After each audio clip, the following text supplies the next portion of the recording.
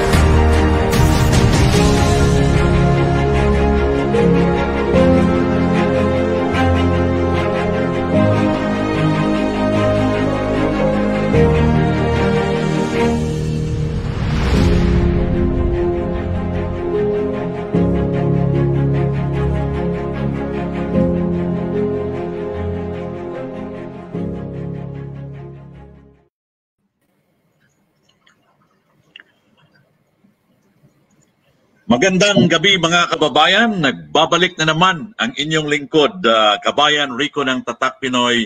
Um, andito tayo ngayon sa Tatak Pinoy Community Bulletin. Uh, sinapa ko agad yung bisita natin para uh, hindi tayo masyadong formal ngayong gabi. Uh, kita agad yung kagukuhan eh.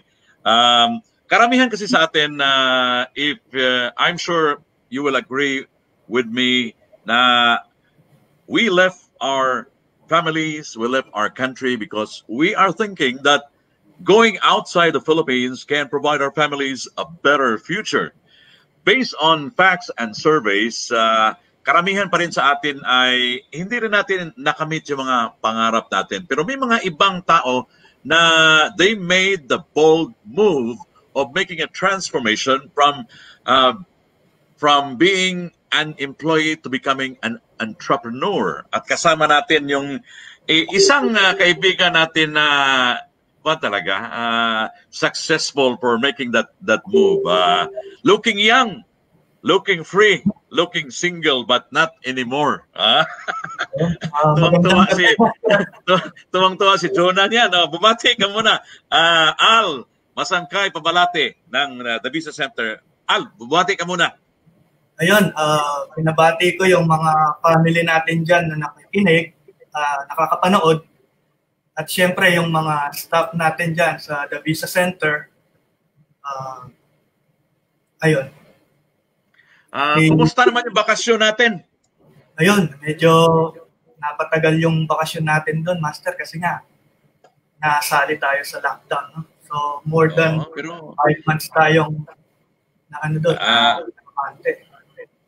maganda doon kasi eh, relax ka, di ba? Uh, unlike dito na um, mahirap talaga, nakakatakot lumabas. Uh, lalo na, na ngayon, di ba? Na-increase na naman, 900 uh, plus. Oo. Oh. Ang kagandahan naman doon, Master, nung uh, binaba yung GCQ, mm. pwede na lumabas. So, nakakapunta ako sa office natin doon sa mm. Nueva Ecija. So, doon ako uh, nag-duty that time. Uh, uh, gaano ba kalayo yung, uh, di, di ba, Juan ka, uh, yung tirahan mo al sa Pampanga. Pampanga, no? So, how far uh, is uh, Pampanga from Nueva Ecija? Malapit lang yung ano, malapit lang yung Cabiao Nueva Ecija. So, one hour pagka walang masyadong traffic, kaya naman. Mm. Uh, may, may, may tanong ako, Al, no? Uh, may na-notice lang kasi ako ba, yung bago lang yung uh, the, the visa center, no? Um, compared to the other immigration consultancy companies, uh, bago, no?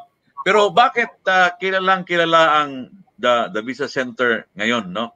Uh, ano ba ang, paano niyo nagawa ang pagpapakilala sa publiko? Ayun, uh, thank you kung nare-recognize kami, no, Master. Pero mm. para sa akin kasi, uh, nag-uumpisa pa lang o nag start pa lang kami. Uh, mm. Ayun, uh, marami pa kaming hindi naaabot. Pero kung ano man ang meron kami ngayon, syempre thankful kami. So, mm. gamit ang social media, malaking tulong para mapakilala syempre yung uh, company, tsaka sa tulong ng mga successful client namin sa mga referrals mm. nila. At syempre, pati na rin sa mga brand ambassador natin dyan. So, oh, Junie oh, Sorsano, si Justin. Oh, yeah. eh. Grabe nga. Walang kakupas-kupas ang pag-promote sa The Visa Center ng dalawa. Oh, um, karamihan kasi sa mga baguhan al no uh, nahihirapan talaga sila to establish a name and carving a name is not easy pero nagawa ninyo no? In in fact uh, before uh, Junie and uh, Justin joined the company um, kilala na rin yung uh, the Visa Center. Uh, lalong tumindi nung uh, you, you gathered the the two social media influencers. Um, pero ano ang mga challenges na na-experience mo, Al, when you started the, the business center? Tatlo kayo diyang mga big boss eh, no? Pero um, yun ang sabi nila eh, yung synergy. Pero anong mga challenges nung kayo ay nag-umpisa? Actually, sir, sa sa business, ayun, uh, yung unang six months talaga namin, ano yun, uh, yun yung parang trial period namin. So, trial mm. and error. So, dito namin naranasan yung walang kinikita pero kailangan naming bayaran yung mga expenses mm. namin. Mm. So, ayun, sa tulong naman ng mga staff, uh, hindi naman napapabayaan yung ano, kahit papano, eh, uh, may may pang tustos ba? Mm. So, yung par, par, namin talagang Mm. Eh, yan, yan ang maganda kasi pag meron ka talagang determination, no, uh, you can overcome any obstacles that uh, may hinder you from achieving your goal. Um, just to inspire the OFWs who are watching us uh, live uh, tonight, Al, uh, paano ka ba nag-umpisa talaga? Ano ang work mo sa Pinas bago ka umalis doon? Uh, actually, uh, Master, uh, sa Pilipinas, bata pa lang ako, uh, tumutulong na ako dun sa maliit na negosyo ng family namin. So, mm. meron kaming maliit na, kung tawagin eh, mamihan. Mm. So, yun eh, yung pwesto namin yon sa harap ng bahay namin is napakalapit lang sa school. Mm. So, pag nagre-recess ang mga bata, dinudumog yun. So, doon kami kumuha ng, hindi naman kumuha, kumbaga, uh, pandagdag ano, pandagdag profit namin. Mm-hmm. So, after ko mag-college, sinubukan ko magtrabaho sa SM, which is contractual, alam naman natin. So, after doon, ayun, nag-decide ako mag-abroad. Mm. Yun, yun talaga ang advantage pag uh, sa early age, no? Uh, may, may naobserbahan ka na because whether you like it or not, the experience you had uh, with your family's business, no? Nakakatulong yun. Kaya nga, if you notice it, karamihan sa mga successful Chinese businessmen, they were trained by their parents, no? So, medyo when it comes to managing a business, yung kaba, hindi na talaga katulad kung wala ka talagang experience. No? Kaya iba talaga yung kan. Anong unang work mo nang dumating ka dito? Ayan, yung pinaka pinakamatindi. Oh. Ano, ano. Pag-usapan natin, oh. Actually, pagdating ko dito, master, ang trabaho ko ay steward. Sa mga hindi Anong klaseng steward? sa mga hindi nakakaalam, ang steward yung tagahugas ng plato. Mm. Sa ano, sa restaurant or hotel? Catering company. Ah, catering company. Nako, madugo 'yan kasi considering na halimbawa 150, 200 yung mga ta- tao, di ba? Thousand. Thousand thousand, ano, ha? Thousand, ha? Nako. Oo. Uh, so, medyo blessed naman ako. Within three days kong nagtatrabaho doon, inilipat agad ako ng manager ko para maging waiter. So, mm-hmm. ayun. So, naka-escape ako doon sa anong yun. And then, after after six months, na-promote ako bilang in-charge. So, mm. yun, parang supervisor na rin ng branch. So, ayun yung naging experience ko. Ano kaya sa tingin Al ano kaya sa palagay mo, ano sa tingin mo ang dahilan na na-promote ka agad? Anong meron sa iyo during that time na nakita ng bosses mo? Actually kasi, uh, napachempo lang eh. Napachempo kasi nga, yung steward, di ba, kumbaga sa group nyo, sa team nyo, ako yung isa sa, uh, ako yung pinakamababang sahod, may pinakamababang sahod that time. So, nag-isip ako, ano ba yung pwede kong gawin para lumaki yung kita ko? Mm. So, eh napansin ko, may sasakyan si boss at uh, everyday bumabiyahe kasama namin. Inoperan ko siya, sabi ko, boss, baka kaila yung sasakyan mo napansin ko marumi na. Baka kailangan ng magpa-car wash. Kung gusto mo, linisin ko, bigyan mo na lang ako ng ano, ng ayun nga, bayad. Mm. So, ang sabi ni boss, ayoko ng uh, arawan na bayad. Gusto ko monthly kong ibibigay yung sahod mo, pero every other day lilinisin mo yung sasakyan ko. So, doon nag-start yun. Uh, binayaran niya ako 150 a month. Ang sahod ko lang kasi dati. An- anong year yan, Al, yung 150 na yan, anong year? 2007. So, 2007. Mm.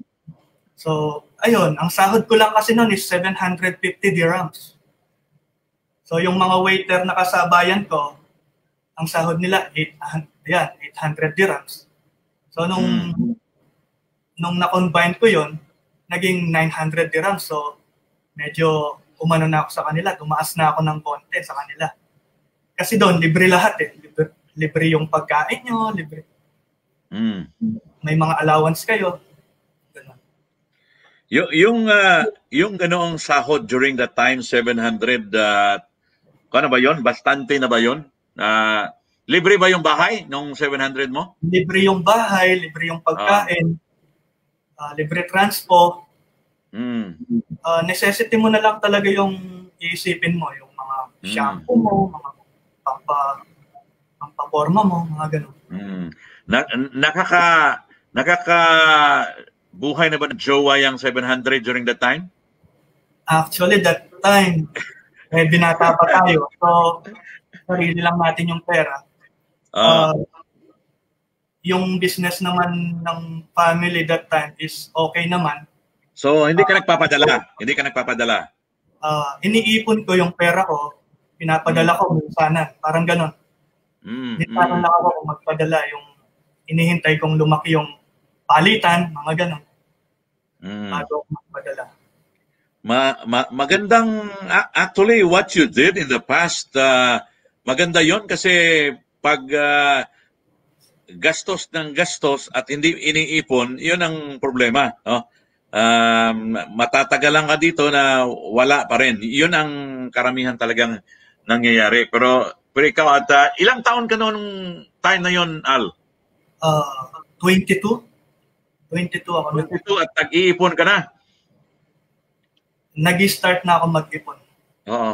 Wa, wala ka bang nakikita na halimbawa katulad ng mga you know bata pa pag mayroong mga gadget na nakikita bili agad uh, yung sa time na yon uh, hindi mo ba naisip na bibili ka ng mga gadget na kailangan mo actually master uh, ang kwento diyan is di ba dati ang mahal ng SIM card 150 yep. kung bibili ka ng SIM card Mm. So hmm. during that time, hindi talaga ako bumili. Ang nangyari lang is na-promote lang ako as a supervisor. Kaya uh, nag ano nag-produce yung company ng SIM card para sa akin. So mm. yun yung first time ko magka ano magka SIM card. Mm. So, ang, yung ko lang nun, nagduda lang ako eh. Uh, yung boss mo hindi matrona ha?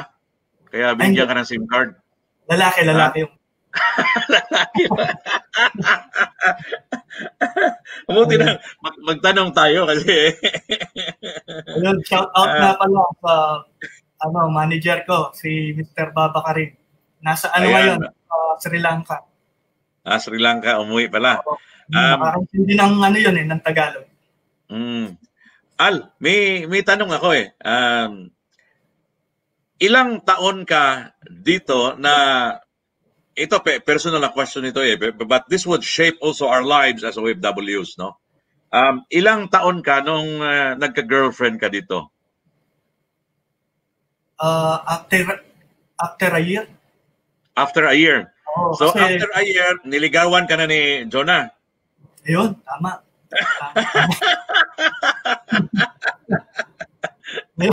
Hindi, uh, ano yan eh, uh, ang tawag dito, walang parang uh, hindi siya yung typical na ligawan eh. Uh, Katrabaho ano, kami. Ano, ano ang nangyari? Can you share with us? Oh? Pa- paano? Ayun, magkatrabaho kasi kami noon that time. Ah, And then, okay. Uh, promoted as ano as uh, supervisor. So mm. madalas kada weekend nagbe-brainstorming kami kung paano yung strategy na gagawin namin sa ayun sa handle naming ano uh, location. Mm. So, yun pala ang uh, kuan uh, medyo naghang, naghahang tayo ng uh, um, internet natin. You are watching uh, Tatak Pinoy Community Bulletin at kausap natin si Al Masangkay Pabalate ng uh, the Visa Center. Um, you'll be inspired with his story because uh, from being an OFW, he made a bold transformation to becoming an entrepreneur. Kaya kakausapin natin uh, in a short while kung ano ba talaga yung uh, sikreto niya at hindi siya takot kasi mas safe kasi uh, ang pagiging empleyado, di ba? The risk is uh, not uh, high considering that when you start a business, pag uh, bago, mahihirapan, there are a lot of challenges uh, and and uh, a lot of obstacles as well. Tingnan natin kung okay na ang signal ni Al. Al, um, um, I think uh, i-reset mo yung kwan mo. Um, internet mo dyan. Um, By the way, we would like to invite you to join us again tomorrow. For those uh, safety practitioners, we will have uh, the safety talk tomorrow. So if you know of some friends who are engaged in the field of safety, tell them to watch us live. Uh, pasalamatan ko pala ang LBC for supporting uh, Tatak Pinoy Loud and Proud. Malapit na po ang uh, Christmas season. So I think this is the right time for us to watch this video. Hindi biro ang mga pagsubok na hinarap natin ngayong taon. Ganun pa man, let's keep unboxing care. Siguraduhin aabot ang pamasko mo. Send it today with LBC. Dahil for 70 years, tuloy pa rin ang paghahatid namin ng saya ng Pasko.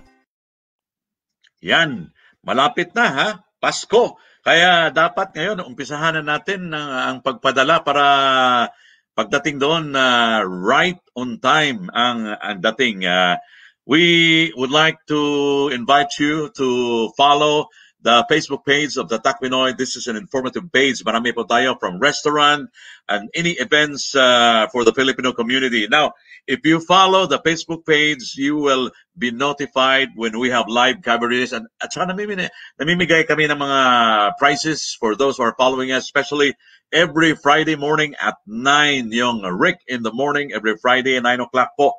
Kaya follow the Tatak Pinoy Facebook page and subscribe to our YouTube channel, Tatak Pinoy UAE. And para doon sa mahilig magluto, uh, subscribe to the YouTube channel of uh, Josie Conlu, Love Josie, para matuto kayo kung uh, ano ang dapat lulutuin ng uh, mga anak nyo. Oh. Dapat, uh, on, especially on weekends na kailangan nating uh, magbanding, uh, you will learn kung anong magandang recipe para sa buong pamilya. Now, we are back. Al is back now. Uh, Al, magandang uh, gabi ang ang we, we, this is conducive to kasi hindi masyadong mainit eh.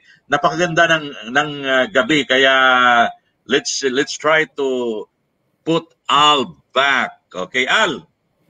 Ayan na. Oh, let's continue. Oh, yung discussion natin, yung love life. Oh. Ayun, naputol tayo, master. Oo. Oo. Um, naputol talaga yung kwento pagdating sa ganyan. Pag love life ba, napuputol? Kaya pala uh, naputol kanina si Kai, no? Ay, oo nga. Baka pinutol talaga niya, no? um, yung yung yung uh, may, may anak na kayo ngayon, uh, Al, di ba? Oo, master, tatlo. Tatlo, ah, tatlo. Na. Um, pa, pa, paano ba hindi, hindi ba mahirap yung uh, mga anak na especially bata pa yung mga anak mo, di ba? Far away from uh, the loving hands of the parents. So, um, ano ba ang feeling ng isang uh, father na mawala palagi sa piling ng mga anak, Al? Actually, ako kasi, yung mga anak ko, when I left, ma, medyo malaki na, no? But in your case, uh, mga bata pa eh, no? Oo. Actually, Master, uh, sinubukan namin dalhin dito. So, nung una, yung panganay namin, uh, nandito siya noon. Uh, siguro, 2 mm. to 3 years siyang nagstay dito. Mm. And then nung nung pangalawa na eh nabuntis ulit si Mrs. Mm. So nakita ko hindi kaya ng income namin yung ganong setup. Mm. So parang ang nangyayari uh, buong sahod ko is napupunta lang sa uh, ng bata, sa magbabantay sa bata, yung mga ganon. Mm. Parang hindi practical. Ah, so, kapag yeah. namin na sige, uh, uwi muna natin. Subukan natin yung uh, buhay na malayo sa kanila. Ang talagang minentain lang namin is yung dapat within a year, dalawang beses kami makauwi para sa kanila. Mm-hmm. Or hindi man ako makauwi, at least siya uuwi on that ano on that uh, certain uh, period na sinet up namin. So, yeah, yeah. Yun talaga, uh, let, let's be practical. Kasi yun, mahirap no kung nauubos yung kita natin just to keep them here. no uh, Lalong hahaba yung buhay natin as an OFW. Um, ngayon, let's focus on uh, you being a businessman, Al. Uh, Noong uh, nag-usap kayo ni Jonah and uh, joining forces with uh, Lawrence as well in putting up the business center nung nag-umpisa kayo, Um, hindi ka ba na, na, natakot na because it's a risk on your part establishing a business, right? Um, especially na mer- meron ng uh, kompetensya, uh, there are immigration consultancy companies na nauna sa inyo, no? Um, hindi mo ba hindi ka ba kinabahan nung uh, nag-usap kayo na let's put up a business uh, focusing on the consultancy area? Ayun. So, nung una, uh, Master, talagang nagulat kami, nagulat kami ni Jonah Mm. Kasi nga, uh, bigla kami pinatawag ni Sir Lawrence, miniting mm. niya kami. At uh, sabi niya nga na ganun ang mangyayari, magpuput up siya ng business. At uh, isa kami sa mga napipisil niya.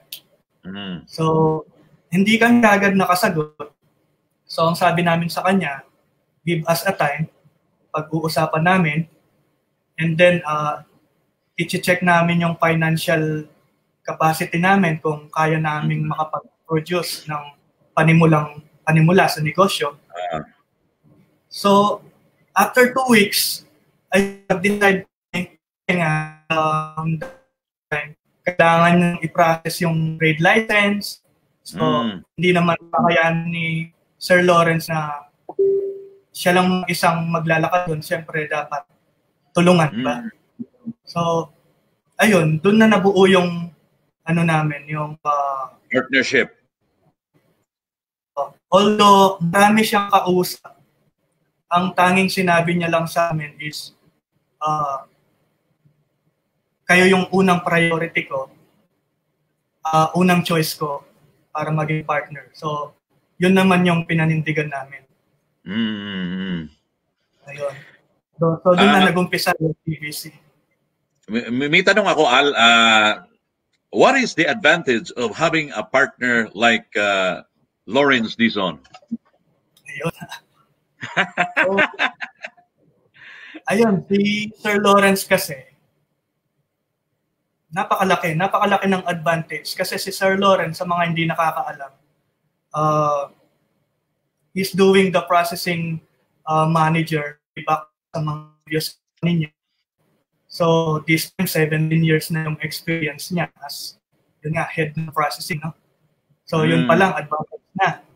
And then, uh, pagdating naman sa, ano, wala akong masabi kasi, ako mismo, masasabi ko, expert siya, and then, uh, isang taong supportive, lalo na sa mga staff, uh, weekly kaming nag-kakandak uh, ng knowledge training, no? Kasi mm. pabago-bago yung mga rules ng government na yan, ng ni Canada, ni Australia, at ni New Zealand. So, weekly, nagkakandak kami ng ano, knowledge training. Wala akong masabi, uh, ano, uh, thumbs up ako pagdating sa, ano sa management. Iyan ang advantage talaga if uh, yung uh, tao na na kapareha mo sa trabaho, may hands-on experience sa sa negosyo. Because uh, ang te- ang tendency kasi niyan, um, this is a reality, no? Uh, yung mga staff kasi natin is uh, once uh, a better opportunity will knock, no? Sometimes we cannot really hold them, no?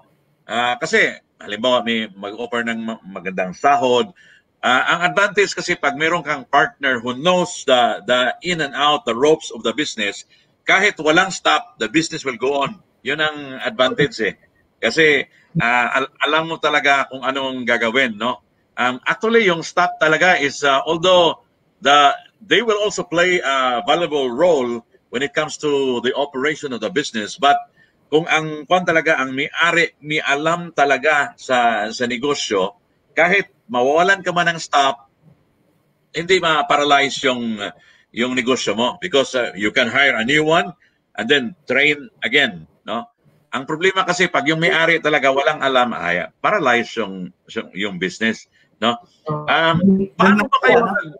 Hmm. Uh, nabanggit mo yung mga staff, uh, master. Uh, uh-huh. Kasi uh, siguro masasabi ko napakaswerte namin sa mga uh, staff namin sa TBC family, hindi ko sinasabing staff ko sila o ang turing ko kasi sa kanila, pamilya. So, napakaswerte namin kasi unang-una is uh, napakabait nila And then, uh, dedicated talaga sila sa trabaho. Kapag ka sinabi mo yung task nila, talagang todo effort yan. Kaya, ayun, uh, thank you. Ito na siguro yung opportunity para magpa-thank you sa kanila. So, sa mga, sa TVC family, uh, thank you very much.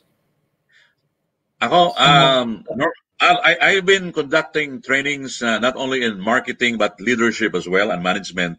At uh, this is a, a reality. No, it is a fact that it is the the management who will create an atmosphere in a certain organization, no?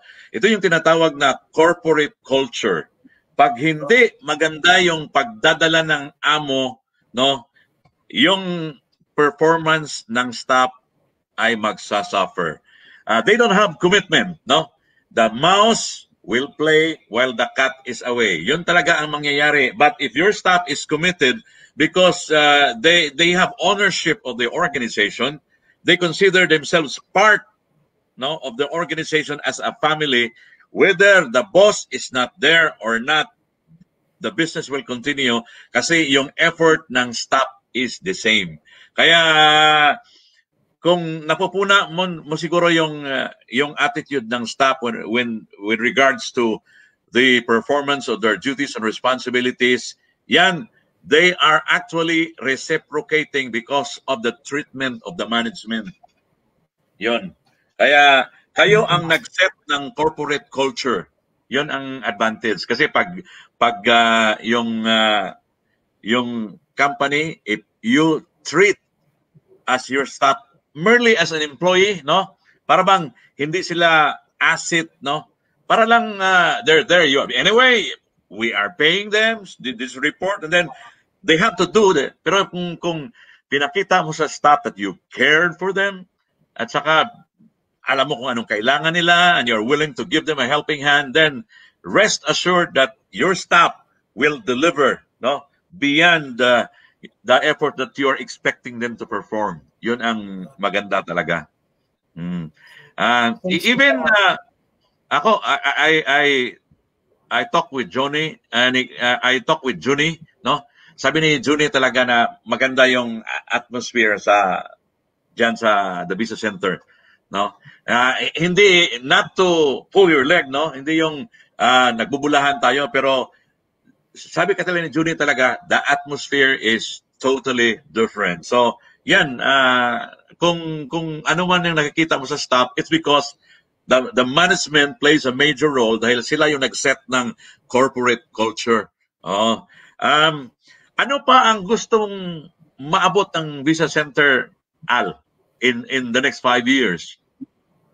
Yun, uh, nasa plano naman, uh, nasa plano kasi namin yung expansion sa different uh, Gulf country. So, Uh, Siguro in the next five years, madadagdag, madadagdagan tayo kung di lima hanggang sampo na branch dito sa Gulf mm. Country.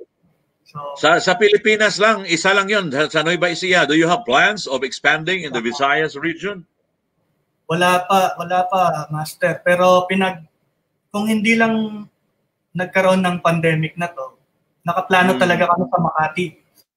Mm umuwi kami nung December para makita yung yung pwesto doon. Naka-ready na eh. Kumbaga, ano na lang, pirmahan na lang. Kaya biglang nangyari tong ganitong sitwasyon. So, i-hold muna namin. Mm. Pero uh, after this year siguro kung magiging maayos ang sitwasyon, uh, itutuloy namin kung yung plano. Mm. Ah, kanina, I'm supposed to ask this to you. Um, paano ka ba nag, uh, naghanap ng staff? What qualities ang hanap mo sa isang staff, Al? Ako kasi, uh, pagdating sa aming tatlo, no, uh, ako yung pinakaunang, baga nag screening sa mga uh. applicant. Ako yung taong uh, inuuna ko yung uh, yung alam mo yung kutob na ah mabait tong taong to.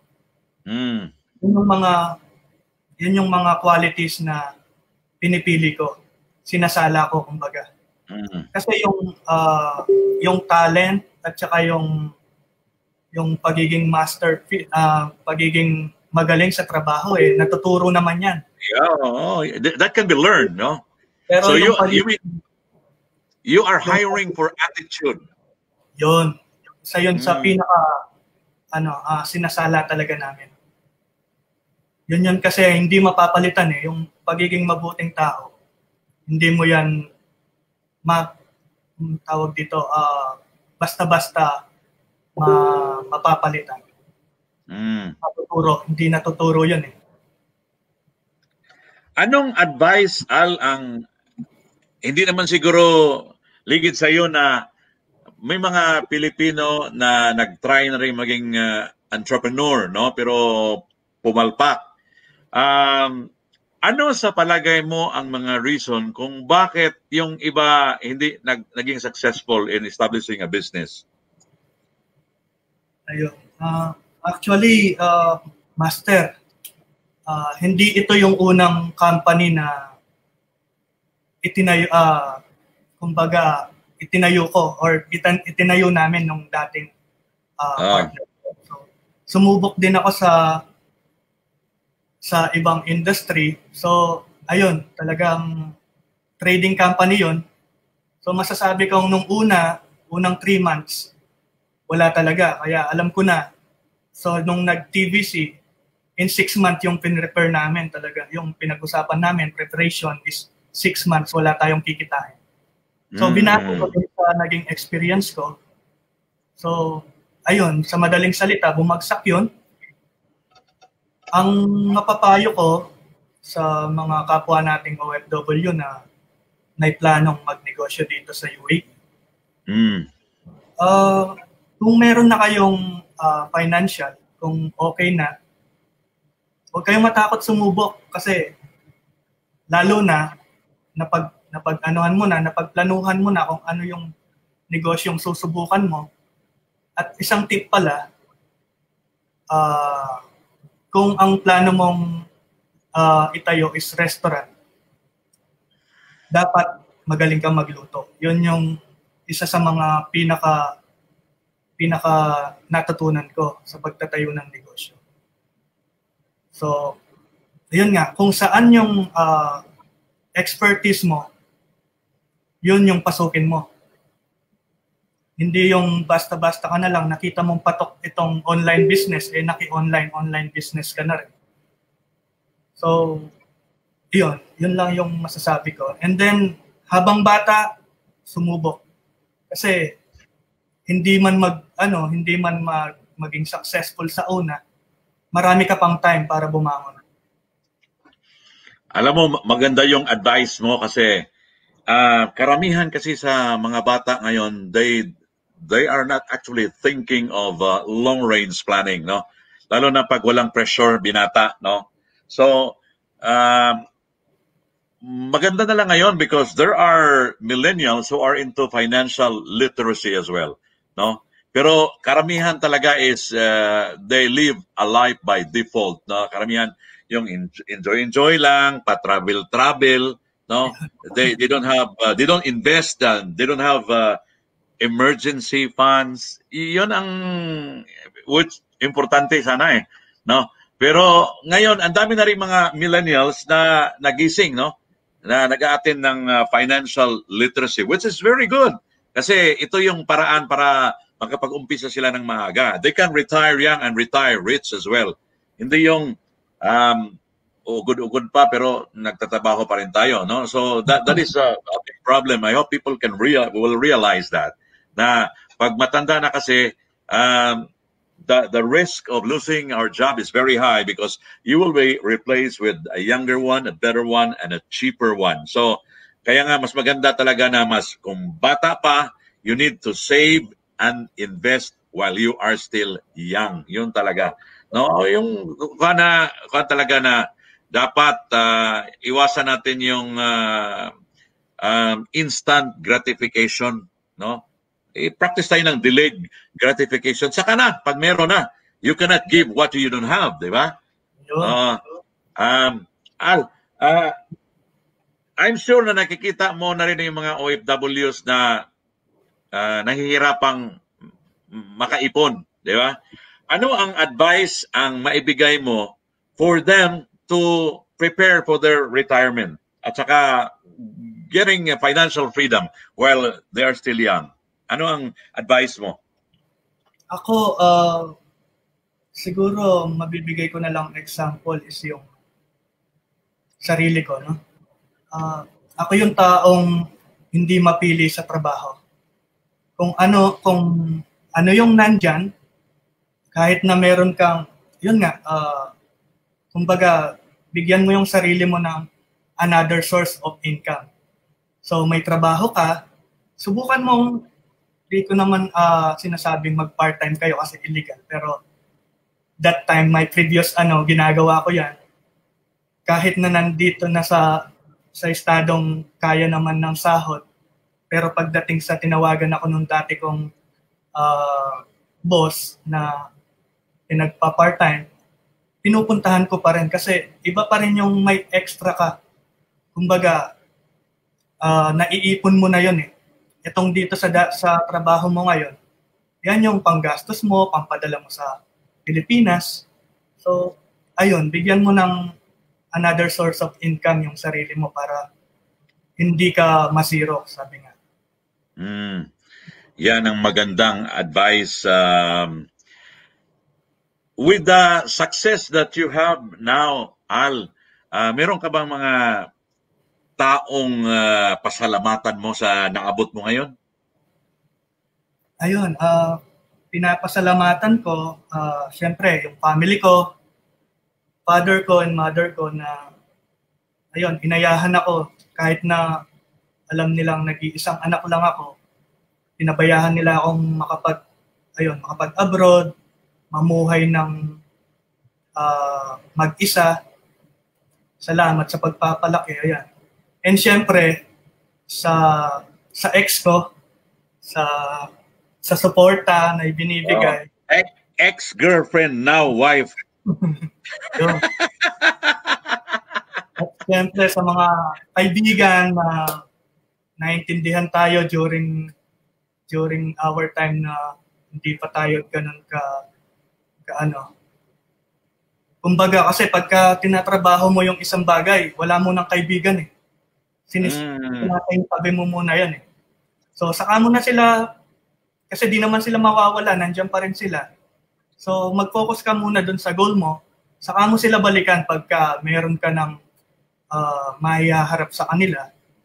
So, naintindihan, naintindihan naman nila yun. And then syempre pala yung TVC family, sila mga brand ambassador natin dyan. Oh. Um, any final message to your TVC family before we finally wind up our interview? Ayun, bago tayo magtapos, uh, gusto ko muna siyempre magpasalamat sa iyo, Master, sa pag-imbita sa akin dito. Uh, isang eh, karangalan. Maganda, maganda kasi na ma-inspire yung mga kaibigan natin na uh, maging uh, ma maging the next uh, Brian Masangkay sila, di ba? Oh, maganda yung uh, marinig nila yung story mo para maging inspirasyon. So sa TVC family, unang-una kay Sir Lawrence, salamat sa pagtitiwala. Uh, ayun, uh, wala akong masabi na alam mo naman, di tayo masyadong nagsasalita pagdating sa ganitong bagay. Pero napakalaking uh, sabi nga, a blessing nang nangyari. At uh, kasi nakilala ka namin at naipakita pa namin kung ano yung mga da, ang mga kaya pa namin gawin. Uh, Siyempre sa sa TVC family, uh, ayun, kapit lang. Nakalagpas na tayo sa unang limang buwan ng pandemya. So, tuloy-tuloy lang natin yan. Mm, ayan. Um, Al, maraming salamat for joining joining me tonight sa ating uh, Tatak Pinoy Community Bulletin. Uh, yung mga na, nakapanood sa atin at nakinig sa sinabi mo, um, nagiging inspirasyon ka kasi um, akala kasi nila na, oy, ay, hindi yan na dumaan sa hirap, which is really wrong. Ngayon, narinig talaga nila na eh, nag, dumanas ka rin sa hirap, di ba? But uh, yung determination mo to succeed, yun ang uh, created the big difference. Yun ang kuan talaga nag-mold you into a better person and becoming a successful entrepreneur. Yan, mga kababayan, nakasama natin si Mr. Al Masangkay Pabalati. Al, again, maraming salamat in behalf of my partner, Josie Conlo. Maraming salamat for joining me tonight. And para sa mga gustong pumunta sa New Zealand, Canada, and Australia, visit uh, the Visa Center. Oh, thank you. Thank you, thank you sila sa uh, Al, uh, tell them about your location at saka yung Facebook page at saka yung contact details ayun, uh, bisitahin nyo lang yung page namin, the Visa Center uh, .ae. And then, uh, kung gusto nyo naman, meron kaming uh, tatlong branches dito sa UAE, isa dito sa Burjuman, isa sa Business Bay, at isa sa Abu Dhabi. So sa mga taga-Pilipinas naman, meron kami dyan sa Nueva Ecija, sa may Cabiao. Ayan. So, ayun. Um, Al, once again, thevisacenter.ae. Yan. Maraming salamat and send my regards to the rest of your TBC family. Mga kababayan, that winds up our community bulletin. Kasama natin earlier si Al ng uh, the Visa Center. Maraming salamat po for joining us. We'll see you tomorrow for Safety Talk only here on Tatak Pinoy, loud and Hindi biro ang mga pagsubok na hinarap natin ngayong taon. Ganun pa man, let's keep unboxing care. Siguraduhin aabot ang pamasko mo. Send it today with LBC. Dahil for 70 years, tuloy pa rin ang paghahatid namin ng saya ng Pasko.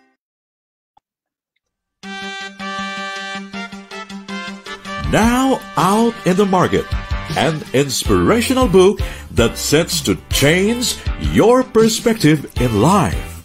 Coming down from Lockdown, the brainchild of an OFW turned entrepreneur, Mariam Teresa Sero Binghai. The book unfolds 30 daily routines that could bring out the best in you in the middle of life's most trying situation, presented in 30 chapters. Coming down from lockdown. Chapter 1 Start your day in meditation and prayer. Chapter 2 Be physically active. Chapter 3 Review your list of gratitude. Chapter 4 Set your goals and plan. Chapter 5 Eat properly and healthily. Chapter 6 Be organized. Chapter 7 Keep your journal accessible. Chapter 8 Social media limitation. Chapter 9 Be reachable to family and friends. Chapter 10 Know thyself better.